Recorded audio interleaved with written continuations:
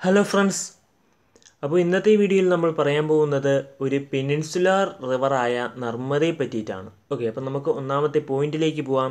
അപ്പോൾ ഏതൊരു റിവറിനെ പറ്റി നമ്മൾ പറയുമ്പോഴും ആദ്യമായിട്ട് പറയേണ്ടത് അതിന്റെ ഒറിജിൻ പ്ലേസ് ആണ് ഉത്ഭവസ്ഥാനം അപ്പോൾ നർമ്മദ ഉത്ഭവിക്കുന്നത് originates from the Maikal range near Amarkantak plateau in Madhya Pradesh. Amarkantak പ്ലേറ്റ്യൂവിനടുത്തുള്ള Maikal range of ഹിൽസിൽ നിന്നാണ് എന്ത് ഉത്ഭവിക്കുന്നത് നർമ്മദ ഉത്ഭവിക്കുന്നത് ഓക്കെ അപ്പം സംസ്ഥാനം സ്റ്റേറ്റ് ചോദിച്ചാൽ മധ്യപ്രദേശ്. മധ്യപ്രദേശിലുള്ള അമർകണ്ടക് പ്ലേറ്റ്യൂവിനടുത്തുള്ള മൈക്കേൽ മലനിരകളിൽ നിന്നാണ് നർമ്മദ ഉത്ഭവിക്കുന്നത്. അപ്പോൾ അമർകണ്ടക് പ്ലേറ്റ്യൂ നമുക്ക് ഓപ്ഷനിൽ കണ്ടാൽ അതും എന്ത് ചെയ്യാം? നമുക്ക് ശരി ഉത്തരമായിട്ട് മാർക്ക് ചെയ്യാവുന്നതാണ്. അപ്പോൾ അമർകണ്ടക് പ്ലേറ്റ്യൂ എന്നും പറയാം.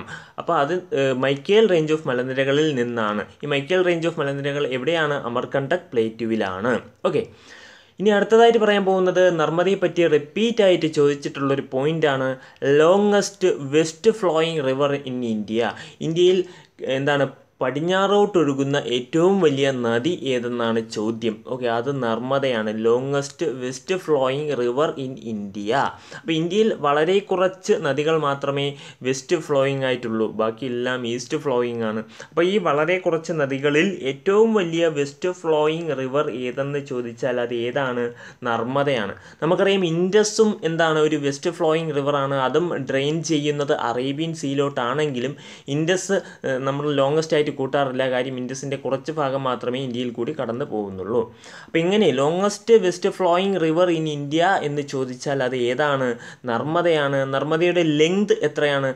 ആയിരത്തി മുന്നൂറ്റി പന്ത്രണ്ട് കിലോമീറ്ററാണ് ആയിരത്തി മുന്നൂറ്റി പന്ത്രണ്ട് കിലോമീറ്ററാണ് നർമ്മദയുടെ നീളം എന്ന് പറയുന്നത്. Okay mainly flows through Madhya Pradesh Gujarat and Maharashtra. അപ്പോൾ ഇത് പ്രധാനമായിട്ടും ഒഴുകുന്നത് മൂന്ന് സംസ്ഥാനങ്ങളിൽ കൂടിയാണ്. ഏതൊക്കെ സംസ്ഥാനമാണ്? നമുക്കറിയാം. അത് മധ്യപ്രദേശ് ഗുജറാത്ത് ആൻഡ് മഹാരാഷ്ട്ര. മധ്യപ്രദേശ് ഗുജറാത്ത് ആൻഡ് മഹാരാഷ്ട്ര ഈ മൂന്ന് സംസ്ഥാനങ്ങളിൽ കൂടിയാണ് നർമ്മദ ഒഴുകുന്നത്.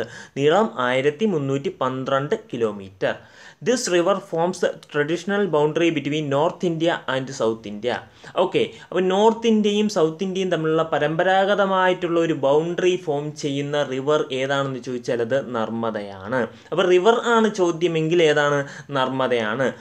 അല്ലാതെ മൗണ്ടെയിൻ റേഞ്ചസ് ആണ് ചോദിക്കുന്നതെങ്കിൽ നമുക്ക് വിന്ധ്യ സത്പുര റേഞ്ചസ് എന്ന് പറയേണ്ടി വരും. ഓക്കെ അപ്പോൾ റിവർ അങ്ങനെ റിവർ ആയിട്ടാണ് ചോദിക്കുന്നതെങ്കിൽ ഏതാണ്? നർമ്മദയാണ്. The river forms traditional boundary between India north India and south India ഇന്ത്യയെ നോർത്ത് ഇന്ത്യ എന്നും സൗത്ത് ഇന്ത്യ എന്നും വിഭജിക്കുന്ന നദി ഏതെന്ന് ചോദിച്ചാൽ അത് നർമ്മദയാണ്. ഓക്കെ ഇനി നർമ്മദ ഒഴുകുന്നത് the Narmada flows between Vindhya and Satpura ranges Vindhya Satpura റേഞ്ചസിനിടയിൽ കൂടി ഒഴുകുന്ന നദിയാണ് നർമ്മദ. അപ്പോൾ നമുക്കിവിടെ നോക്കുമ്പോൾ കാണാം വിന്ധ്യ റേഞ്ചസും സത്പുര റേഞ്ചസും കാണാം. വിന്ധ്യ സത്പുര റേഞ്ചസിനിടയിൽ കൂടി ഒഴുകുന്ന നദിയാണ് എന്തെന്ന് പറയുന്നത്? നർമ്മദ എന്ന് പറയുന്നത്. ഓക്കെ അപ്പം വിന്ധ്യ സത്പുര റേഞ്ചസ് എന്ന് പറയുന്നത് എന്ത് തരത്തിലുള്ള റേഞ്ചസ് ആണ്? അതൊരു മൗണ്ടെയിൻ റേഞ്ചസ് ആണ് ബ്ലോക്ക് മൗണ്ടെയിൻ റേഞ്ചസ് ആണ്. Vindhya Satpura ranges okay block mountain ranges ആണ്. ആ ബ്ലോക്ക് മൗണ്ടെയിൻ റേഞ്ചസിന്റെ വേലിയെ നമ്മൾ പറയുന്നതാണ് എന്തെന്ന് പറയുന്നു? റിഫ്റ്റ് വേലി എന്ന് പറയുന്നു. എന്തെന്ന് പറയുന്നു? റിഫ്റ്റ് വേലി എന്ന് പറയുന്നു. അപ്പോൾ നർമ്മദയെ പറ്റിയിട്ടുള്ള ഒരു പ്രധാന പോയിന്റാണ് റിഫ്റ്റ് വേലി ഫ്രംശ താഴ്വരയിൽ കൂടി ഒഴുകുന്ന ഇന്ത്യൻ നദി ഏതെന്ന് ചോദിച്ചാൽ മതി ഏതാണ്? നർമ്മദയാണ്. ഓക്കെ അപ്പോൾ the Narmada river flows between Vindhya and Satpura ranges this river flows through rift valley ഫ്രംശ താഴ്വരയിൽ കൂടി ഒഴുകുന്ന ഇന്ത്യൻ നദി ഏതെന്ന് ചോദിച്ചാലും അതിന് ഉത്തരം ഏതാണ്? നർമ്മദയാണ്. അപ്പോൾ നർമ്മദ ഏതൊക്കെ മലനിരകൾക്കിടയിൽ കൂടി ഒഴുകുന്നു എന്ന് വെച്ചാൽ വിന്ധ്യ സത്പുര മൗണ്ടൈൻ റേഞ്ചസിനിടയിൽ കൂടി ഒഴുകുന്ന നദി ഏതെന്ന് ചോദിച്ചാൽ അത് ഏതാണ്? നർമ്മദയാണ്. ഇനി നർമ്മദയെ പറ്റി പറയാനുള്ള ഒരു പ്രധാന പോയിന്റാണ് it drains into Arabian sea at gulf of Khambhat gulf of കമ്പത്തിൽ വെച്ച് അറേബ്യൻ സീയുമായിട്ട് ഇത് എന്ത് ചെയ്യുന്നു? ഡ്രെയിൻ ചെയ്യുന്നു. അല്ലെങ്കിൽ അറേബ്യൻ സീയിലേക്ക് ഡ്രെയിൻ ചെയ്യുന്നു. അപ്പോൾ ഇത് എവിടെ ഒഴുകി പതിക്കുന്നു എന്ന് ചോദിച്ചാൽ ഗൾഫ് ഓഫ് കമ്പത്തിൽ വെച്ച് ഇത് അറബിക്കടലിലേക്ക് പതിക്കുന്നു. അപ്പം അറേബ്യൻ സീയിലാണ് നർമ്മദ പതിക്കുന്നത്. ഏത് സീയിലാണ് നർമ്മദ പതിക്കുന്നത് എന്ന് ചോദിച്ചാൽ അത് അറേബ്യൻ സീയിലാണ് എവിടെ വെച്ചാണെന്ന് ചോദിച്ചാൽ at gulf of Khambhat gulf of കമ്പത്തിൽ വെച്ചാണ് അറേബ്യൻ സീയുമായിട്ട് നർമ്മദ ചേരുന്നത്. ഓക്കെ ഇനി അടുത്ത പോയിന്റ് ഇതാണ് ഏൻഷ്യന്റ് നെയിം നമ്മൾ ഏത് ഒരു റിവർ പഠിച്ചാലും അതിന് മിക്കവാറും ഒക്കെ ഒരു ഏൻഷ്യന്റ് നെയിം ഉണ്ട്. നമ്മൾ കഴിഞ്ഞ ക്ലാസ്സിൽ ബ്രഹ്മപുത്രയെ പറഞ്ഞപ്പോൾ അത് പറഞ്ഞു ലൗഹിത്യ എന്നാണെന്ന് പറഞ്ഞു. ഇവിടുത്തെ നർമ്മദയുടെ ഏൻഷ്യന്റ് നെയിം രേവ എന്നാണ്. Okay ancient name of Narmada. നർമ്മദയുടെ ancient name ഏതെന്ന് ചോദിച്ചാൽ അത് രേവയാണ്. എന്താണ്? രേവ. അതുപോലെ തന്നെ known as lifeline of Madhya Pradesh. മധ്യപ്രദേശിന്റെ ജീവരേഖ എന്നറിയപ്പെടുന്ന നദി ഏതാണ്? അതും നർമ്മദയാണ്. മധ്യപ്രദേശിന്റെ ജീവരേഖ എന്നറിയപ്പെടുന്ന നദി ഏതെന്നാണ് നർമ്മദയാണ്.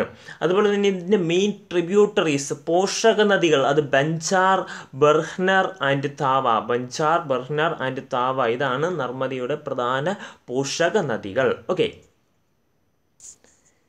ഇനി നമ്മൾ പഠിക്കാൻ പോകുന്നത് നർമ്മദയുടെ തീരത്തുള്ള മേജർ സിറ്റീസ് ആണ്. Okay major cities situated in the banks of Narmada river Narmada അപ്പോൾ ഒന്നാമത്തെ സിറ്റി ഹോഷങ്കാബാദ് ആണ്. ഏതാണ്? ഹോഷങ്കാബാദ് ആണ് ഹോഷങ്കാബാദ് മധ്യപ്രദേശിലാണ്. ഓക്കെ ഹോഷങ്കാബാദ് ഏത് സംസ്ഥാനത്താണെന്ന് ചോദിച്ചാൽ അത് എവിടെയാണ്? മധ്യപ്രദേശിലാണ്. അപ്പോൾ ഹോഷങ്കാബാദ് മധ്യപ്രദേശിലാണ്. എന്താണ് ഹോഷങ്കാബാദിന്റെ പ്രത്യേകത? ഹോഷങ്കാബാദിലാണ് സെക്യൂരിറ്റി പേപ്പർ മില്ല് സ്ഥിതി ചെയ്യുന്നത്. ഓക്കെ സെക്യൂരിറ്റി പേപ്പർ മില്ല് ഇന്ത്യയുടെ സെക്യൂരിറ്റി പേപ്പർ മില്ല് സ്ഥിതി ചെയ്യുന്നത് ഏത് സിറ്റിയിലാണെന്ന് ചോദിച്ചാൽ ഹോഷങ്കാബാദാണ്. അത് ഏത് നദിയുടെ തീരത്താണെന്ന് ചോദിച്ചാൽ നർമ്മദയുടെ തീരത്താണ്. അതുപോലെ തന്നെ അടുത്ത സിറ്റി ജബൽപൂർ ആണ് ജബൽപൂർ നമുക്കറിയാം മധ്യപ്രദേശ് ഹൈക്കോർട്ട് സ്ഥിതി ചെയ്യുന്നത് എവിടെയാണെന്ന് ചോദിച്ചാൽ അത് ജബൽപൂരിലാണ് ഓക്കെ മധ്യപ്രദേശിന്റെ ഹൈക്കോർട്ട് എവിടെയാണ് സ്ഥിതി ചെയ്യുന്നതെന്ന് ചോദിച്ചാൽ അത് ജബൽപൂരിലാണ് അതുപോലെ തന്നെ ഓംകാരേശ്വർ ആൻഡ് മാൻഡല. അപ്പോൾ ഏതൊക്കെയാണ് സിറ്റീസ് ഹോഷങ്കാബാദ് ജബൽപൂർ ഓംകാരേശ്വർ ആൻഡ് മാൻഡല. ഇതാണ് നർമ്മദയുടെ തീരത്ത് സ്ഥിതി ചെയ്യുന്ന പ്രധാന സിറ്റീസ് ഓക്കെ അതുപോലെ തന്നെ നർമ്മദയിലുള്ള ഒരു പ്രധാനപ്പെട്ട ഡാമാണ് ഹൈഡ്രോ പവർ പ്രോജക്റ്റ് ആണ് ഏതെന്ന് പറയുന്നത്? സർദാർ സരോവർ ഡാം. ഏതാണ്? Sardar Sarovar dam. Okay Sardar Sarovar dam ഏത് നദിക്ക് കുറുകെയാണ് പണിതിരിക്കുന്നത് എന്ന് ചോദിച്ചാൽ ഏതാണ്? നർമ്മദ നദിക്ക് കുറുകെ പണിത ഡാമാണ് സർദാർ സരോവർ ഡാം. അപ്പോൾ ഈ സർദാർ സരോവർ ഡാം പണിതപ്പോൾ ഒരുപാട് പ്രകൃതി നശിപ്പിക്കേണ്ടി വന്നു. ഓക്കെ പ്രകൃതി നശിപ്പിക്കേണ്ടി വന്നതുകൊണ്ട് അതിനെതിരെ ഒരു സോഷ്യൽ മൂവ്മെന്റ് ഉണ്ടായി വന്നു. അപ്പോൾ the social movement organised against Sardar Sarovar dam. Sardar Sarovar ഡാമിന്റെ കൺസ്ട്രക്ഷന് വേണ്ടി ഒരുപാട് വനങ്ങളൊക്കെ നശീകരിക്കേണ്ടി വന്നപ്പോൾ വെട്ടി നശിപ്പിക്കേണ്ടി വന്നപ്പോൾ അതിനെതിരെ ഒരു സോഷ്യൽ മൂവ്മെന്റ് വന്നു. അതിനെതിരെ വന്ന സോഷ്യൽ മൂവ്മെന്റ് ഇതാണ് നർമ്മദാ ബച്ചാവോ ആന്തോളൻ ഏതാണ്?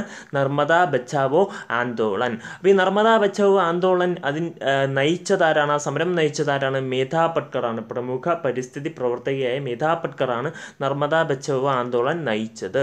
അപ്പോൾ അതേപോലെ തന്നെ മേധാ പട്കർ സ്ഥാപിച്ച പൊളിറ്റിക്കൽ പാർട്ടിയാണ് people political front. Okay people political front. ആര് സ്ഥാപിച്ച പൊളിറ്റിക്കൽ പാർട്ടിയാണ്? രാഷ്ട്രീയ പാർട്ടിയാണ് മേധാ പട്കറിന്റെ രാഷ്ട്രീയ പാർട്ടിയാണ്. അതുപോലെ തന്നെ നർമ്മദയെ പറ്റി പറയുമ്പോൾ ഏറ്റവും പ്രധാനമായിട്ടുള്ള ഒരു കാര്യം this driver doesn't form a delta ഒരു ഡെൽറ്റ ഉണ്ടാക്കാത്ത അതായത് ഡെൽറ്റ എന്ന് പറയുമ്പോൾ അലൂവിയൽ ഡെപ്പോസിഷനെയാണ് നമ്മൾ എന്തെന്ന് പറയുന്നത്? ഡെൽറ്റ എന്ന് പറയുന്നത്. ഇറോഷണൽ ആക്ടിവിറ്റി പ്രകാരം ഈ റിവേഴ്സ് കൊണ്ടുവന്ന് ഡെപ്പോസിറ്റ് ചെയ്യുന്നതാണ് എന്തെന്ന് പറയുന്നത്? ഈ നമ്മൾ പറയുന്ന ഡെൽറ്റ എന്ന് പറയുന്നത്. നമുക്കറിയാം റിവർ ഒഴുകുന്ന വഴി അത് ഒരുപാട് സാധനങ്ങൾ വഹിച്ചുകൊണ്ടാണ് പോകുന്നത്. അപ്പോൾ ഈ സാധനങ്ങൾ അതായത് ഈ അലൂവിയൽ സോയിൽസ് അതുപോലെ തന്നെ ഇറോഷണൽ ആക്ടിവിറ്റീസ് പ്രകാരം ഫോം ചെയ്യുന്ന മണ്ണ് പോലത്തെ സംഗതികളൊക്കെ വന്ന് ഡെപ്പോസിറ്റ് ചെയ്താണ് എന്തുണ്ടാവുന്നത്? ഡെൽറ്റ ഉണ്ടാവുന്നത്. പക്ഷേ ഈ നർമ്മദയ്ക്കുള്ള പ്രത്യേകത എന്ന് പറഞ്ഞാൽ ഇത്രയും ദൂരം ഒഴുകിയിട്ട് നർമ്മദ എന്ത് ഫോം ചെയ്യുന്നില്ല? ഡെൽറ്റ ഫോം ചെയ്യുന്നില്ല. നർമ്മദ ഡെൽറ്റ ഫോം ചെയ്യാത്തതിന്റെ പ്രധാനപ്പെട്ട കാര്യം എന്താണ്? അതൊരു റിഫ്റ്റ് വേലിയിൽ കൂടി ഒഴുകുന്നത് കൊണ്ട് അവിടെ ഒരുപാട് ഇറോഷണൽ ആക്ടിവിറ്റീസ് ഒന്നും നടക്കാത്തത് കൊണ്ടാണ്. അപ്പം നർമ്മദ ഒരു റിഫ്റ്റ് വേലിയിൽ കൂടി ഒഴുകുന്നത് കൊണ്ടും റിഫ്റ്റ് വേലിയിൽ ഒരുപാട് ഇറോഷണൽ ആക്ടിവിറ്റീസ് ഒന്നും നടക്കാത്തത് കൊണ്ടുമാണ് എന്ത് ചെയ്തത്? നർമ്മദ ഒരു ഡെൽറ്റ ഫോം ചെയ്യാത്തത്. നർമ്മദ ഒരു ഡെൽറ്റ ഫോം ചെയ്യാത്തത്. അപ്പോൾ കഴിഞ്ഞ വീഡിയോയിൽ നമ്മൾ പറഞ്ഞായിരുന്നു ഗംഗയും ബ്രഹ്മപുത്രയും ചേർന്ന് ഫോം ചെയ്യുന്ന ഡെൽറ്റ ഏതെന്ന് ചോദിച്ചാൽ അത് ഏതാണ്? ഏത് ഡെൽറ്റയാണ് അത് സുന്ദർബൻസ് ആണ്. ഏത് ഡെൽറ്റയാണ് സുന്ദർബൻസ് ആണ്. ഓക്കെ ഇനി നമുക്ക് പറയാം. ഈ നർമ്മദ വാട്ടർ നർമ്മദ വാട്ടറിന് വേണ്ടിയിട്ട് ഒരുപാട് തർക്കങ്ങൾ ഉണ്ടായിട്ടുണ്ട്. നർമ്മദ നദീജല തർക്കങ്ങളൊക്കെ ഉണ്ടായിട്ടുണ്ട്. അപ്പോൾ അത് പരിഹരിക്കുവാൻ വേണ്ടി നർമ്മദ എന്താണ് വാട്ടർ ഡിസ്പ്യൂട്ട്സ് ട്രിബ്യൂണൽ സ്ഥാപിക്കപ്പെട്ടിട്ടുണ്ട്. ഓക്കെ അപ്പോൾ അതിനെപ്പറ്റിയാണ് നമ്മൾ ഇനി പറയാൻ പോകുന്നത്. Under the inter state water disputes act nineteen fifty six അപ്പോൾ നമ്മൾ മനസ്സിലാക്കേണ്ട ഒന്നാമത്തെ point inter states water disputes act ഏത് വർഷമാണ് നിലവിൽ വന്നത്? അത് നയന്റീൻ ഫിഫ്റ്റി സിക്സ് ആണ്. ഓക്കെ അപ്പോൾ inter states water dispute act നിലവിൽ വന്നത് നയന്റീൻ ഫിഫ്റ്റി സിക്സ് ആണ്. ഓക്കെ അപ്പോൾ under the inter state water disputes act nineteen fifty six the central government constituted Narmada water disputes tribunal October nineteen sixty nine to adjudicate upon the sharing of Narmada waters and for Narmada river valley development അപ്പോൾ ആയിരത്തി തൊള്ളായിരത്തി അൻപത്തി ആറിലെ ഇൻഡസ്ട്രിയേറ്റ് water dispute act പ്രകാരം central government നർമ്മദയുടെ എന്താണ് ഈ ജലവുമായിട്ട് ബന്ധപ്പെട്ട തർക്കങ്ങൾ പരിഹരിക്കുന്നതിനും അതുപോലെ തന്നെ നർമ്മദ വേലിയുടെ ഒരു ഹോളിസ്റ്റിക് ഡെവലപ്മെന്റ് ആ ഒരു ആശയം പ്രാവർത്തികമാക്കുന്നതിന് വേണ്ടിയിട്ടും സെൻട്രൽ ഗവൺമെന്റ് ഒരു നർമ്മദ വാട്ടർ ഡിസ്പ്യൂട്ട്സ് ട്രിബ്യൂണൽ കൊണ്ടുവന്നു. ഏത് വർഷമാണ്? Nineteen sixty നയനിലാണ് sixth October nineteen sixty nine okay sixth October nineteen sixty നയനിലാണ് Narmada water disputes tribunal കൊണ്ടുവന്നത്.